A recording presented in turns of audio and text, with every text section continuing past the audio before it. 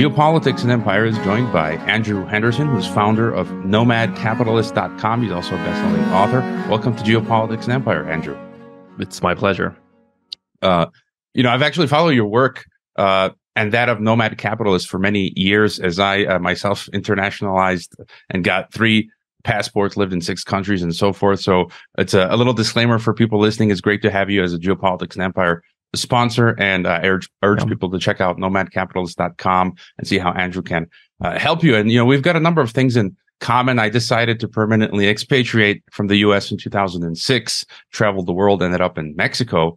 Uh, and one of the many reasons was American empire culture and because I enjoy life abroad as well as uh, this peace of mind that you speak of. Nomad Capitalist recently tweeted, quote, after years of traveling and reflection, our founder, Andrew Henderson, left the USA for good. The media talks about high taxes and financial reasons for leaving, but they miss the ultimate reason, peace of mind, uh, end quote. And so I know you've renounced U.S. citizenship, and maybe if you just want to tell us a bit about, you know, what led, led you to leave what I call the American empire. Well, that was um, five and a half years ago at this point that I renounced. And so, um, you know, traveling and living overseas for a number of years, um, realizing, as we say, go where you're treated best. There's options for everything you're not looking for one perfect place to move everything. You're looking for various places to move various things. And I realized on a personal level, I didn't want to be American. Um, I didn't want to be associated with that. Now, to some people, the accent still gives it away. Um, and I was I hosted a party last year in Vienna, and somebody brought up kind of a geopolitics political issue, and then immediately started lecturing me that I had no business talking about it because of my accent, even though they didn't realize I decided to cut ties with the US for good. Um, if I want to go back, I have to ask their permission, and they may very well not give it to me. So, you know, the common thing in the media is, oh, you just don't want to pay tax. Uh, the reality is, I legally paid zero tax, or in some cases, very little tax for many years, and I could have continued to largely do that. Um, I found it offensive that they have all kinds of requirements for US citizens who live overseas that even though I didn't have much of a tax burden, that you've still got to file a lot of forms. It's daunting, it's burdensome. I'm a guy who likes to play by the rules. I sleep better that way, even if I don't agree with the rules. And it was a lot of work. I mean, it, it was times it was pretty anxious. But the reality is, I mean, ever since I was 15 years old, I wanted to live overseas. I never identified as a patriot. I guess briefly after 9 11, I kind of got on the patriotic bandwagon and then got off of it again because I just fundamentally think the US government is is immoral, deceitful. I don't trust them.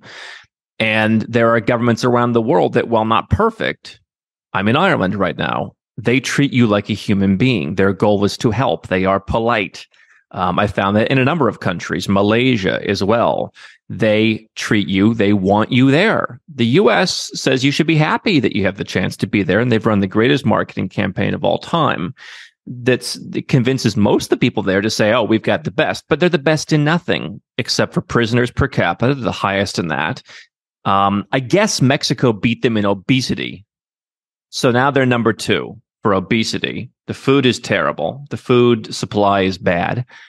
But I, you know, when you travel around the world and you meet people from Syria and from Yemen and from Serbia and from elsewhere that the US came in and destroyed, sometimes you could say for not very good reasons. And you see the hurt that those people went through. You say to yourself, why do I want to be associated with this? I don't want to live in the country. Um, you know, we have some great clients from the US, but by and large, the people are pretty uninformed they're pretty arrogant about being uninformed. Uh, the girls everywhere else that I was dating at a young age were a lot prettier and a lot nicer. And I just, it just all came together, man. Like, what do I need this for? I would, I would be embarrassed to show up in some countries and show a U.S. passport. I just don't want to be associated with it because I just realize there's a lot of nasty stuff there. And so whether it is Ireland or Malaysia or whatever else, but they just kind of leave people alone, I'd much rather be associated with that. Yeah, you know the, the, the gist of what you're saying um, is kind of one of the reasons I left. I haven't gone as far to renounce my U.S. Uh, uh, passport, but or citizenship, and we'll, we'll see. But uh, j- just yeah. along those lines, to get more a little more geopolitical, and your thoughts on Pax Americana, American Empire. Uh, and you know, it's it's declining. I've been looking at this for 20 years. One of the reasons I left because I foresaw in this decline a lot of the things you you alluded to. We'd see economic decline, cultural degeneration, uh, uh, and increased authoritarianism. Um, you know, before we started the interview, I was telling you how the DHS got me banned from uh, PayPal, and I'm like, uh, but I don't care about getting banned by PayPal, but it's just a shock as an American. Just to, I, I can't believe that you know we, are actually crossing that uh, Rubicon, and so, no. And then you know we, have got Ukraine, uh, Taiwan, and so you know these these the, these uh, forces, this uh, militar militarist uh, Americana is pushing for World War Three. Uh, they're very um, arrogant, as you mentioned. The citizens and uh, you know Washington, the government. We've got de-dollarization going on, which you frequently comment um, about on your YouTube. So, just your, your, your further thoughts on the decline of the West, the rise of the rest of the world. Um, you know, wars and even domestically, things are going nuts. You know, that we got these. Well, I, I haven't been there for a long time, and I try to avoid going through there, and I try to avoid even flying through there because it's just very unpleasant. Uh, I know a guy who got stopped just merely because he lives in Asia he got flagged for being a child pornographer and they had to, you know, put him in a back room for a while while they checked all of his devices. Lo and behold, he is not a child pornographer and uh, he went on his merry way. But that's pretty crazy. That's what you do to your own citizens just because they choose to live somewhere else. Um, I work, you know, the industry of of offshore tax planning and dual citizenship, and I'll be I've been very clear. It's a pretty scummy industry in many ways. I mean, the reason that I started, you know, doing YouTube in using my real name uh, a decade ago was I thought the industry needed someone to be transparent because there's plenty of people who should know they have options. Um, so, with that being said, I have watched just in the last couple of days a guy in our industry. Listen, maybe he did something wrong, but oh, he was helping Russians move to Dubai. It sounds like there's a little bit more to it than that, but that was the gist of it. He's now banned. He's now sanctioned, rather, by OFAC. Uh, his entire company, and people are adding me. They're looking for jobs, and, and it's probably going to be tough to, for me to you know work with any of those people. I don't want to. I don't want to do anything untoward. But I always wonder when you see these press releases, how bad really was it? We try and be so clean. Again, whether I agree with the rules or not, we're going to follow the rules and we're going to be do the right thing. But I do wonder how much sometimes there's a case when, you know, even the city manager of Hong Kong, um, all of her bank accounts got shut down. She was literally keeping cash in her apartment. She got a salary. It was piling up in cash because, oh, we don't like her. I saw a statistic the other day 29% of the world economy is now under US sanctions. And so you wonder why are these organizations and countries and whatnot trying to get together and talk about what you call de dollarization? Now, people misunderstand de dollarization, I think. I don't believe it's the death of the US dollar. People have been talking about that since the 60s and 70s. It's just going to go away. It's going to be the Weimar Republic. I think it's much more of an issue of things happen at the margins. Homeownership goes from 68 to 63%. You have a great recession. It didn't go to 2%, right? It's not like everyone didn't lose their home. A few people lost their homes, percentage wise. And look at what happened back in 07, 08, 09. And I think in the same way, you've crept up from the single digits of the world economy being under US sanctions back, I guess, at the turn of the century, 29%. You can sit in your ivory tower in the United States, whether you're in the government or whether you're the average citizen, and say, well, they must have done something wrong. And I say, according to who? Some of them are probably terrible people. Not all of them. 29% of the people in the world and the countries in the world are, are evil. And so, you know, the US, I think, has just gone beyond the pale to say, you know what, screw it. We have enough people on our side that we can just do whatever we want. And it's like, well, wait a second. All these countries that don't care. I mean, I'm in Malaysia they care about wars involving Muslims. If you're Serbian or Montenegrin, you still need a visa to go to Malaysia because of the war in the 90s. They, they're still not over it. They don't care about what's happening in Ukraine. Nobody cares about every war. And I, you know, we can we can talk about those. I'm not saying that's a good thing or a bad thing, but I'm saying there's plenty of countries where they're like, you know what, that's just not our business what they do over there. And yet they say, well, why is it they don't have access to the world financial system or to hold US dollars? Like that's a little ridiculous. And you're seeing countries like Nigeria and Indonesia and India, and of course, China, um, you know, coming up. And yet they're increasingly being shut out of the West. So what are they supposed to do? Just suffer and die? And I think that's what the U.S. does want them to do. I mean, Trump's advisor Steve Bannon says we emptied out the middle class in the eh, in the U.S. to build one in Asia. Heaven forbid people in Asia should do anything more than live subsistence lifestyles and clutch for their their cup of rice every day. Heaven forbid a guy like me should be able to go and hire people in places like Serbia, like Malaysia, and take advantage of people who are a bit more affordable. Maybe maybe they want to work harder. And people in the US, they hate that so badly. And so you combine the fact that it, you know, wages aren't going up as much. Why? Because people like me are hiring people all around the world. It's competitive. I'm, um, you know, for all the people who oh, it's a capitalist system, heaven forbid it would be competitive. And and so they lash out. And then the other countries are like, listen, we've done nothing wrong. We're going to develop an alternative. And I think you're seeing that more strongly than ever. Doesn't mean the dollar goes away. It means there's a little bit more competition.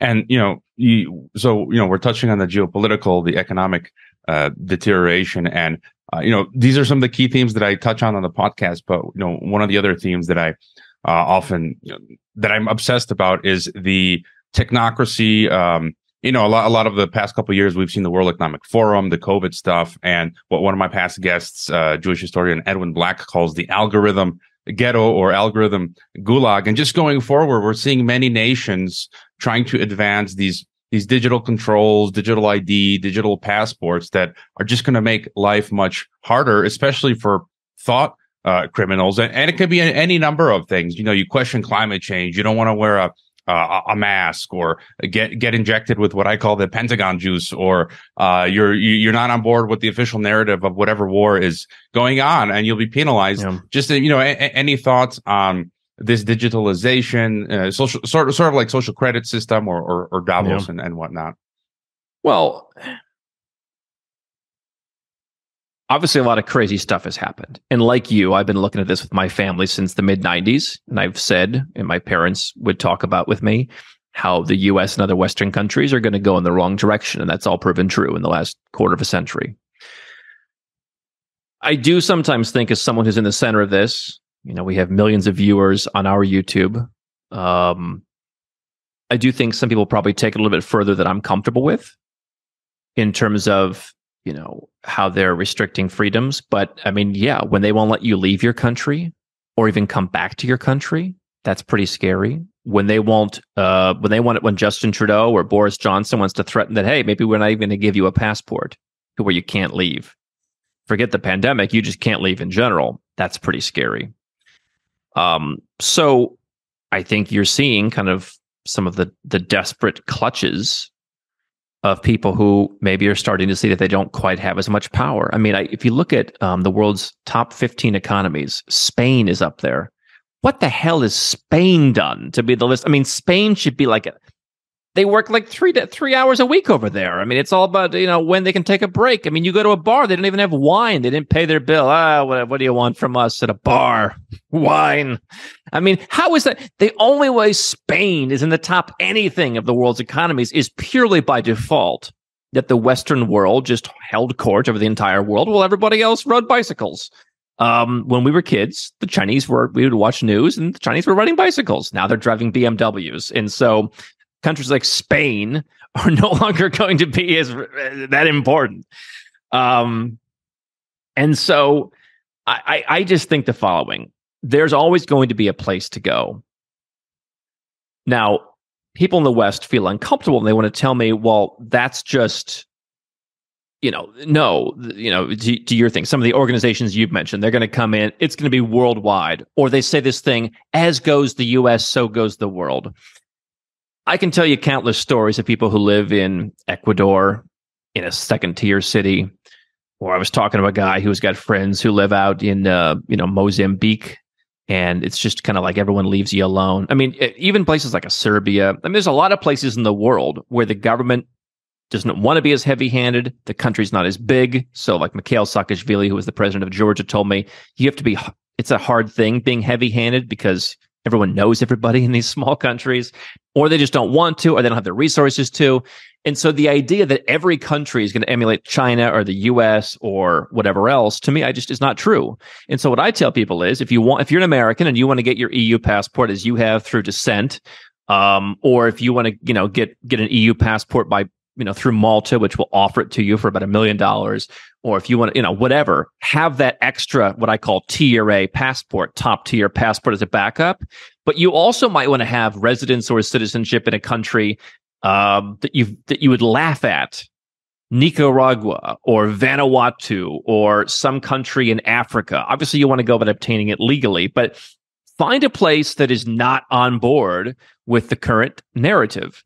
I am not um, one of these guys like, oh, I don't like the US, so I'm going to go side with Russia. But I do think it's a good thing that you're allowed to have a few places on earth that don't share the Western narrative. And and again, I keep mentioning Serbia, but they're like, we're going to do our own thing. We don't want to follow the EU. Uh, we want to be our own country. We want to do what we do. We're, we're traditionalists, and we're going to to follow that. That might not be a bad place to go when some of this stuff happens. Uh, and so I just think that out of 196 countries and plenty more territories, like the Cayman Islands or you know whatever else, they're not their own country. There's going to be somewhere that you can go, and having a diversified portfolio of wealth and access to these countries in and and to these countries is a good idea because I I just think um, there's going to be places on Earth where they don't roll out uh, stuff that's crazy. And you had people over the last couple years that were saying, listen, I have millions of dollars, but I believe the com- best combination of low tax and personal freedom is Nicaragua. You may disagree. I've been in Nicaragua. Um, most people who would argue with that probably haven't. Yeah, you know, and I was in uh, Croatia last year. I mean, you can go to rural Croatia. There's there's nobody yeah. there. It's a ghost ghost villages, which is you know one great option. Or you know here rural Mexico, where I'm looking at. Uh, some of my listeners are down with uh, Doug Casey and Matt Smith in rural uh, Paraguay. So you know there's many places you can yeah. um, look to. And you mentioned uh, passports. You know, let's get into how uh, and where people can begin uh, you know, navigating all this stuff that's going on and building an international life raft, so to speak. You know, I was living mm-hmm. in Kazakhstan until 2020, uh, employed, technically employed by Nursultan uh, Nazarbayev when, when the, the, the COVID hit and I wanted to escape back to Mexico. It took us three attempts, uh, five days to get back to Mexico. And we had to go through Amsterdam, the EU, where normally third uh, country nationals were not allowed to go through. And yeah. because I had a Croatian passport, an EU passport, my family doesn't.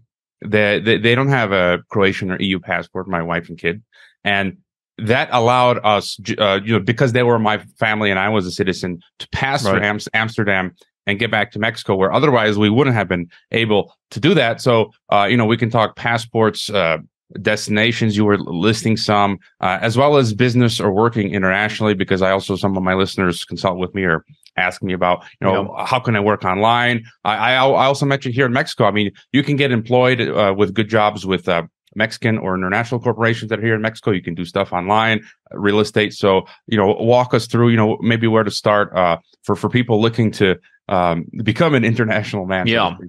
i mean nomad capitalist service kind of our main holistic services for folks who are making half a million dollars or more. Now we do offer a number of other services for everybody. Um, so you know, I think the best way to get to that level is you're going to start your own location independent business, or heck, I mean, a location dependent business where you are location independent, right? You have management in place, what have you. Um, from a tax planning standpoint, obviously, something that you can take with you and run anywhere um, with the exception of certain royalty incomes like books or YouTube channels. That's you know a lot easier. And so if you can keep more of your own money, that's the first step to to building your freedom. Um, and so what we'll do sometimes is we'll help somebody who makes, let's say, half a million. They can save $175,000 in taxes, and they're going to put that first year of savings into creating their access plan, which is a second passport or a couple of second passports or a second residence that becomes a second passport and another second you know you can stack what are called residence permits which allow you to live in the country but are a little bit less secure because theoretically they can expire at some point, and then citizenships, which entitle you to get a passport. And so you're a citizen of Croatia, therefore they allow you to apply for a passport. And because Croatia is a member of the European Union, you could go and live with your entire family in any other European Union country, in Norway and Switzerland. There's plenty that are tax friendly, but it also gives the opportunity that if something crazy happened, and it was a country by country craziness, you would have other places to go to. Kind of like an American could go from California to Texas. You could, for tax reasons, freedom reasons, have access to all those other countries. So maybe, you know, um, Bulgaria is not so crazy on this issue. Okay, you go live in Bulgaria. Um, you can move around. And so I think, you know, having passports gives you the best level of flexibility. You can quote unquote buy a passport in as little as six months. There's a handful of Caribbean countries that offer that. Some of them, if you were to live there, would be tax free, which is a nice perk if you wanted to live there. Um, those countries allow you to live in the other five um, Eastern Caribbean states. So you've got six different countries to choose from. Again, some have been more heavy handed than others on certain issues. And so you have that flexibility. It's kind of six countries in one. Uh, Turkey has a program uh, where you buy real estate, you get a passport. Um, you know, a couple other countries like Vanuatu, you're basically putting out money, generally as a donation, except for in Turkey. Uh, Malta in the European Union, 18 months, you can get a passport, but it's going to cost you about a million dollars. Now they're in the same position that you are as a Croatian. You want to go and live in Portugal? You want to live in Switzerland? Not in the EU, but part of the same uh, resident system. You can do that. And so I think that's if you know that's one way to do it. it. Is just hey, I have money, I want to, to get access.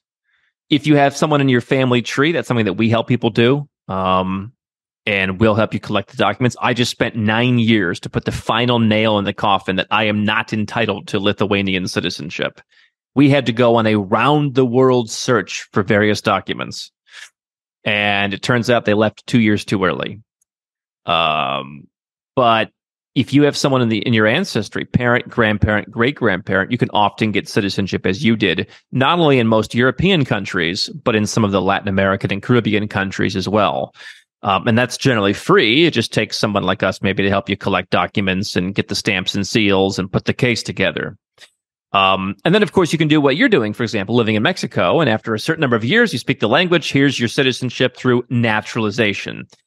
I will make one other point. If you happen to be like French or Italian, those are countries where if you're married to someone, you don't even have to live in that country to get it. You can just register and then the clock starts ticking while you're not even living in France, for example. We've helped some couples where um, they both wanted to be French, but they didn't want to live in France and pay the high taxes. So uh, check your spouse, check your family tree, um, see if you want to move somewhere. And if you don't, then there are ways you can just buy access.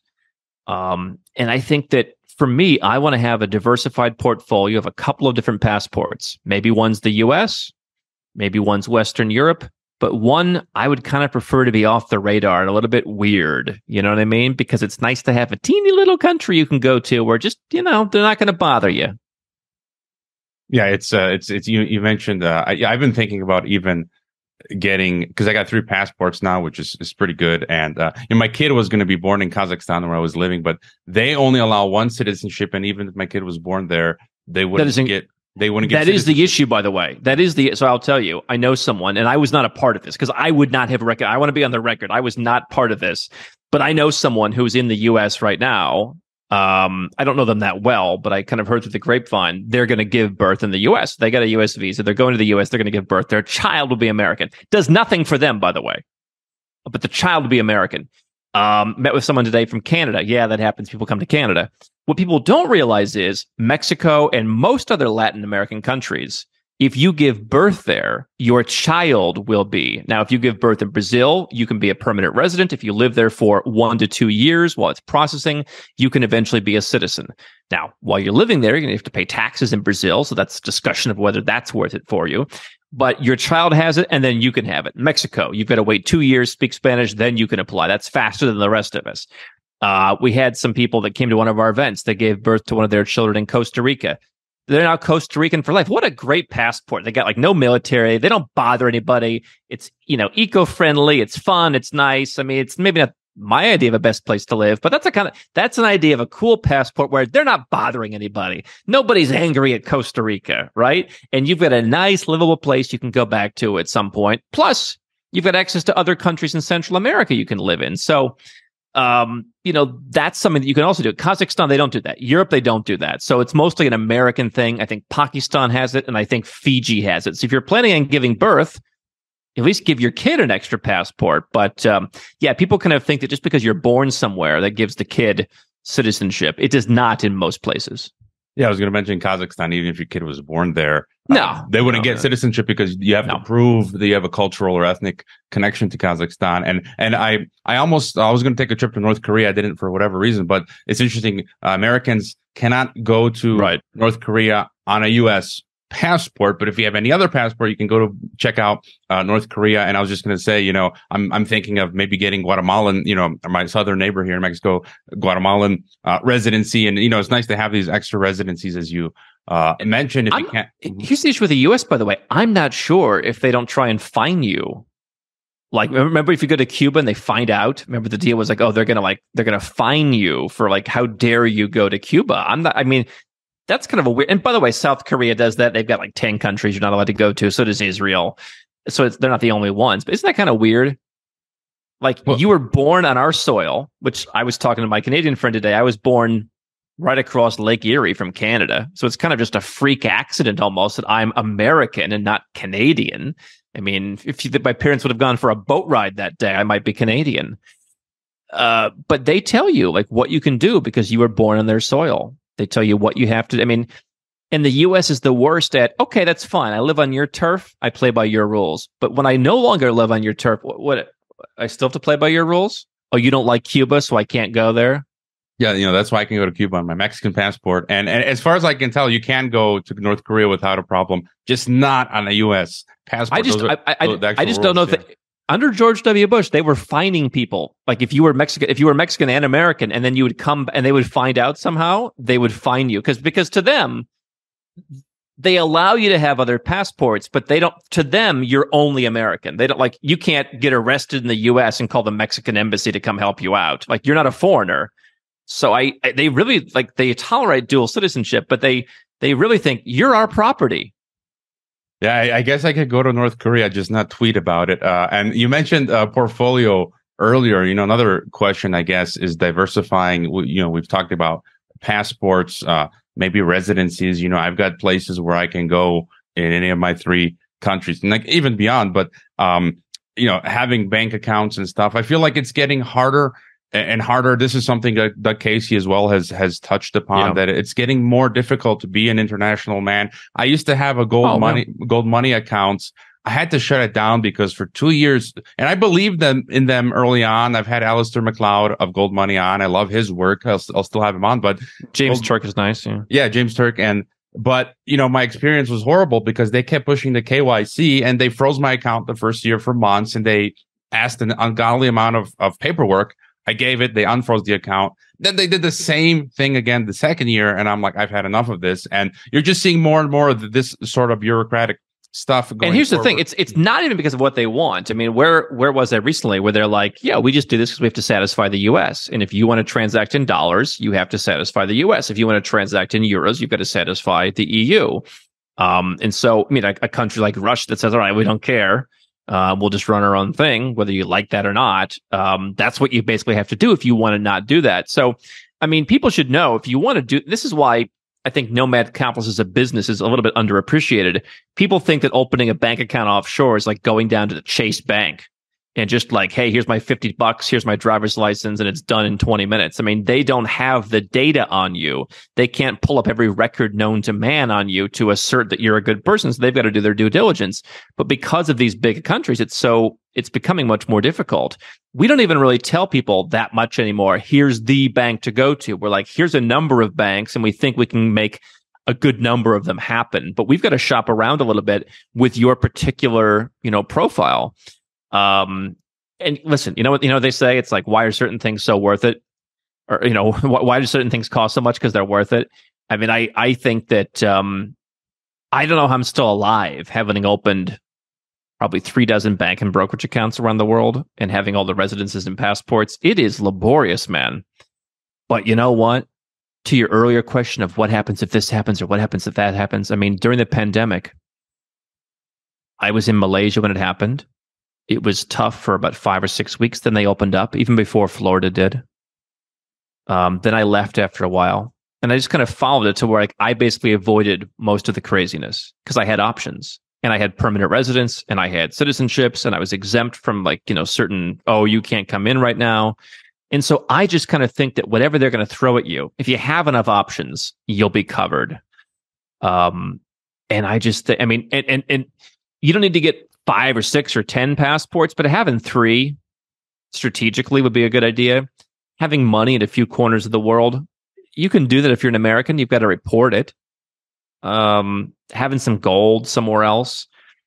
I think the problem is most people don't realize the empire because their their entire identity is based on living in the empire, and they think that like that makes them kind of like people from New York. If a New York sports team wins a lot, I grew up in Cleveland. They were always beating us, those New Yorkers. I wouldn't get so cocky that like you're you're not Derek Jeter. Like let's not like you didn't do anything. You just live in the city where Derek Jeter plays. And I think that that's the perspective these people take. Like I'm from this great country. Like it's like don't take it so personally to you, and don't think it'll last forever. Yeah, the exceptionalism is. I was just in the U.S. and you you you hear it, you smell it, you see it. It it it, it bugs me, and they do. Uh, you know, they view I, people telling me to my face that Mexico is you know inferior, and all these different countries are inferior, and I'm like. by the way, by the way, not a thing in any other realm of life that the winner says right? Like, yeah. like, like, like, like, out oh, of all the guys complaining about women and how oh it's so tough, women is this that. You know who I? You know who the guys I know who are never complaining about women?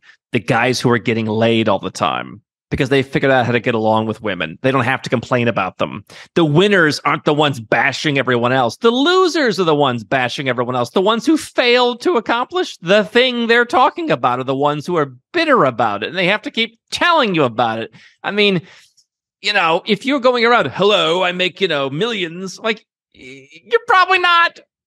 Yeah, no, that, that's a great uh, a, point. And you know, just to finish on that last thought, it, it, as you said, I mean, just having passports, a few accounts around the world. I mean, I can't tell you the last decade. Just uh, and, I, you know, you I open you open up these accounts uh, ahead of time. You get your papers yeah. in order, and then when this stuff comes in, pandemics yeah. or wars or economic issues uh, or crime and you have to flee somewhere. If you've got everything in order it's just a snap. You can you can get through this stuff. And i can't tell you how many people in the us uh, or you know elsewhere that they haven't renewed their passports. I'm like what are you uh, thinking? oh, dude i i no i was selling a property during the pandemic.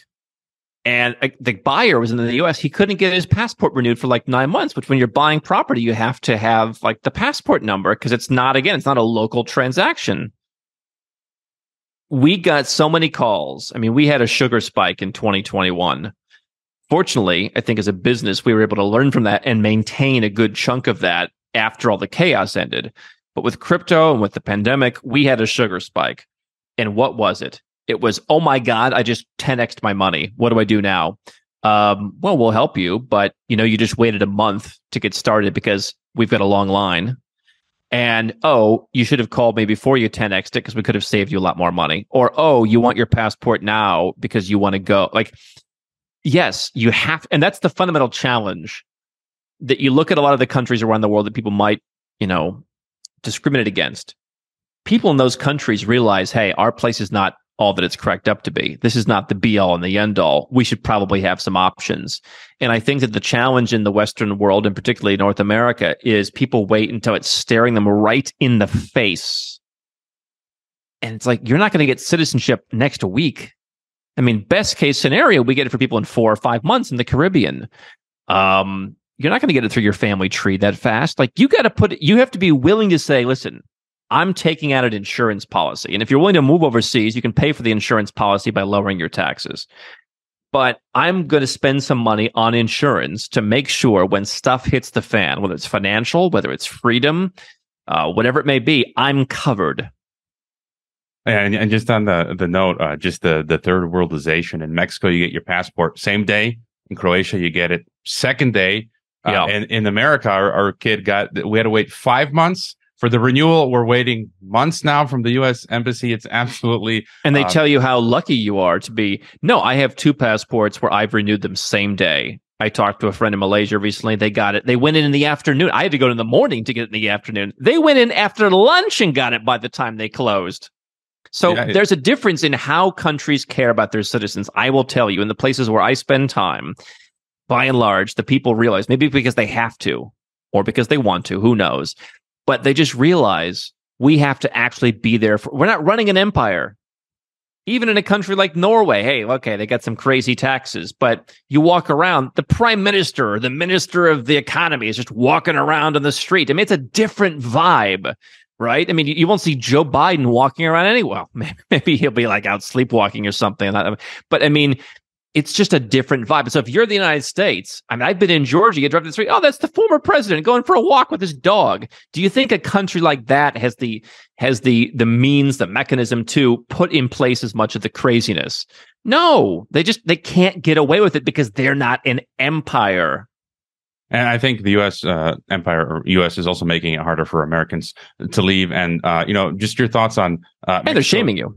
Yeah, and and and uh, you know, you, you were in one of your videos. You mentioned you were in Mexico uh, not too long ago, and you were talking about AMLO and how Mexico is safer yeah. uh, than the U.S. Uh, I mean, I did for the first time in over a decade just yesterday have my car window smashed in. It was probably uh, you know, a migrant because that's where they passed through where my car was. Uh, and so whatever, I just kind of like, we'll just replace it. We're getting it fixed today. And that's just life. But you know, the, the only time I stared down the barrel of a gun was in my hometown of Chicago about 20 uh, years ago. But just, you know, your, your thoughts on Mexico. Mex- Mexico's become very popular. Um, the government seems to be, and I agree with you, like in your video, I don't agree with AMLO and everything, but he's doing a lot of interesting things and good things, trying to defend energy sovereignty, Mexican sovereignty. Oh, they've been um, screwed by the U.S. for so many years on on energy, um, where they've just been held over a, a barrel. I guess is the, is the no pun intended. But here's the thing: if your window is broken in in Chicago, most people wouldn't blame Chicago; they blame the guy. But then they go to Mexico. Ah, that's bad. Now we got you. That's proof. And so, uh, on, a, on a, I guess if you look at homicide statistics, I mean, Mexico is higher than the U.S. Now, the U.S. is higher than a heck of a lot of other places. Um, I think it's in the, it's in the bottom third of violent crime statistics. The U.S. Um, you know, and so it's kind of funny. People don't want to move to Dubai or something because you know it's like there's zero murder. And Zuby was talking about this recently, by the way, on Twitter. Like, I grew up in Saudi Arabia. He said, zero tax, zero crime just, I mean, and, and then people say, I don't want to go to Saudi Arabia. It's not safe. So people have, in many cases, they have the facts backwards. I think Mexico is a great country. I think that for Americans who are looking for a soft landing culturally, obviously not linguistically, but culturally, there are many similarities. I think Ireland is also a very good soft landing that can be tax friendly for foreigners.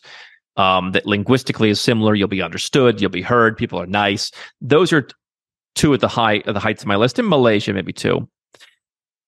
Um, it's not that difficult to get residence in Mexico. Now, if you're going to live there, there's some tax planning to do. And are you going to get citizenship? And there's a number of factors to consider. But Mexico, while more difficult than it was, is still open for people to come there. And I just think that, and by the way, the Mexican passport is actually pretty darn good. There's only two countries of note that you can't go to as a Mexican that people would say, well, I kind of want to go there. One is Australia and one is the United States. That's it. Now, if you're from the United States, that may be an issue. You can go to the United States as a Croatian, uh, but if you weren't to be American, um, but I mean, people don't understand. Even Nicaragua has a pretty good passport. Guatemala, you mentioned, pretty good passport. Um, you may not like if you have to live in those countries and earn money. Sure, that's not ideal. But if you are the a kind of guy like you or I um, now, I will say Nicaragua, the capital, was the only place I had a gun put in my face in my life. Um, so don't don't go to Managua, Nicaragua. There's other parts of Nicaragua that are nice, but uh, I just I, I, think that people just don't know the statistics. I mean, we put up the Nomad Passport Index. The U.S. had like the 38th best passport this year. Not terrible, but hardly number one. And I think Mexico um, from a passport perspective, from a living perspective, from a quality of food perspective. I mean, it's not perfect. But, you know, I have friends who live in Chicago and they live in the places where you don't get murdered. And if you live in Mexico, you'll live in the places where you don't get murdered also. Yeah, that's those are uh, great points. And um, all right, if you got any final thoughts for us? I know you've got a, I think, a conference coming up in Kuala Lumpur. I think I saw Zuby speaking. Yeah. I, am a fan of, yeah. of, Zuby's. He was supposed to come on the podcast, and then uh, he had a scheduling issue. I'll have to try to get him back on. And so, conference, you got a book, you got the service, yeah, great YouTube uh, stuff you're doing on YouTube, and your your articles, and then uh, the services you offer at nomadcapitalist.com. So, final thoughts, and then if you want to let us know uh, yeah. about projects. Well, my my my five magic words are go where you're treated best. And it's not go where you're treated a little better. Moving from California to Arizona is not really the answer anymore. It's still a move. If you're going to move, you might as well move and you might as well look into the actual statistics, whether it's our passport index or freedom of speech index, freedom of the press index, economic freedom index, taxes, whatever, and realize that no matter where you're from, but especially from the United States, your your country's not number one at anything. You may like it, and maybe your emotions override um, logic, and that's fine. Maybe you're willing to put up with a dwindling uh, place where you pay a lot of money to not get much in return because you want to go to grandma's every weekend. And I'm not going to judge you for that, but we should at least know the score and know that's why we're doing it, and not because it's number one. So we put out a, a, video every other day on YouTube, over 2,200 videos in total on second citizenship and taxes and everything else offshore. Nomad Capitalist. The book on Amazon is called Nomad Capitalist. Um, it's got over 2,000 great reviews. Um, it's more of a story that kind of educates you on what you can and what you can't do. Talks about some adventures, just gets you primed and ready. Uh, we are having the world's best gathering, in my opinion, of open minded global citizens uh, every year, Nomad Capitalist Live. This year it's in Kuala Lumpur in September 6th through 9th. Uh, it is not the cheapest event because nobody sponsors it. It's nothing but information and nothing but networking. Nobody can pay to to sponsor it. You are the customer, not the product. And then the same thing applies to our service.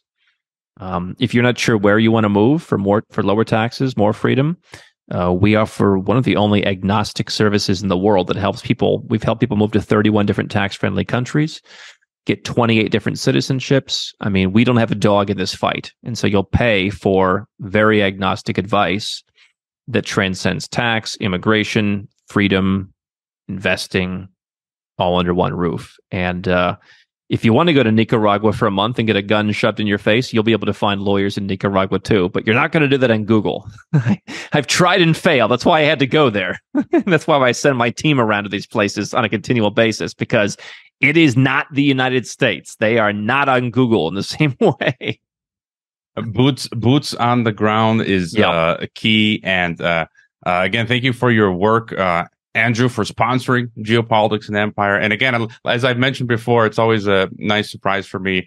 Uh, I've followed your work for, you know, probably, you know, for many years. So it's, you know, I, and I don't take anyone as a sponsor. So people that I enjoy, you know, previously we had Mikkel Thorup of Expat Money, um, you know, Nomos Time Bank, uh, above, uh, Ramiro Romani of uh, above phone. And so, uh, all good, great, uh, people doing great work. I'll include all your links in the description and thank you for being on Geopolitics and Empire.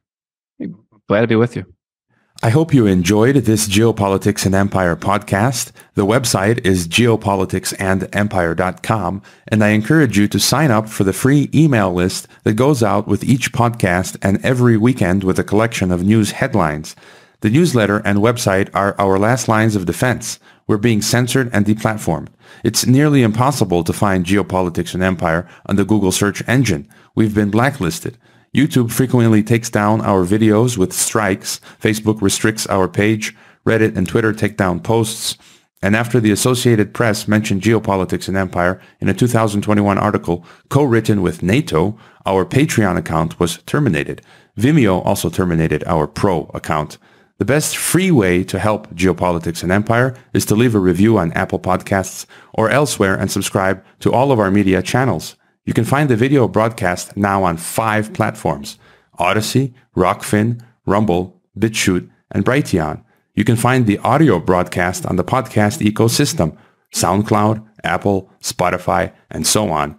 My current favorite social media channels are Twitter and Telegram, but you can also find us on Gab, MeWe, Minds, Flote, VK, Instagram, Facebook, and LinkedIn. Finally, Geopolitics and Empire is in dire need of funding to continue. You can leave a donation, purchase a consultation with the host, or become a member to receive additional benefits. We also produce a weekly broadcast called Dissident Thinker for members and Rokfin subscribers only. We will continue to fight the good fight come hell or high water. Thank you for listening.